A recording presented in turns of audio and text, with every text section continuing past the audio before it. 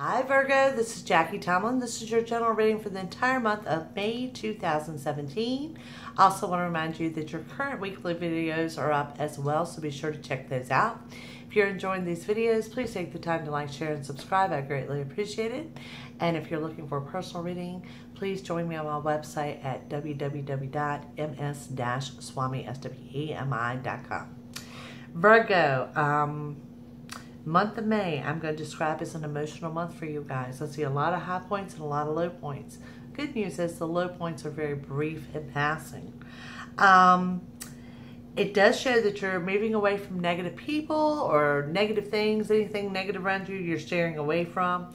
Uh, looks like there's some good business deals. Uh, there's some type of celebration going right back to new money and good business deals all over again and just showing that in the personal life there you need to keep your options open or kind of rethink your options there.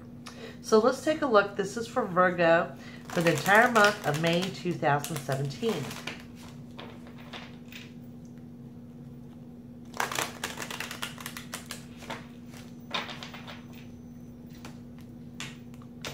Virgo, we start with the major arcana of the star, followed by the Four of Wands, followed by the Hangman, the Knight of Cups, the Two of Wands, and the Major Arcana of the Chariot. Great spread, Virgo.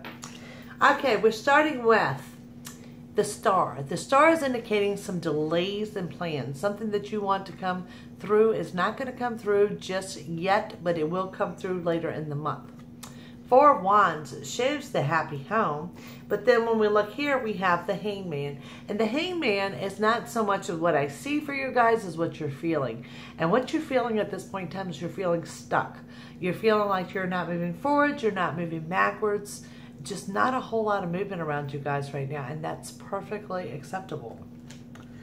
the Knight of Cups, the Two of Wands, and the Chariot. First of all, let me say, for my single Virgos out there, there's a lot going on in the love life, um, probably more than one when it comes to communication.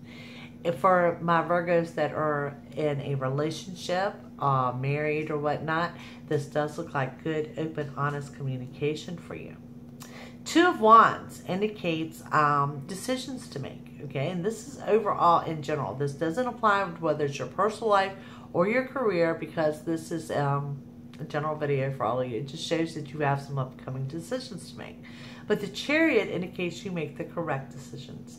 The chariot is the yes answer. This is the move forward. This is everything you want coming to pass. So definitely a great card for you guys. We have the Four of Pentacles, Major Arcana of the Sun, and then we have the Page of Pentacles. And don't throw out a whole lot of zodiac signs for you guys, but for whatever reason, Capricorn is jumping out, so that could be significant or resonate with you in some way. Four Pentacles indicates wise financial decisions. So remember that as you go through the month. Okay, don't um, don't overspend this month. Save some for a rainy day. Beside that, we have the sun going hand in hand with the chariot. Doesn't get better than that.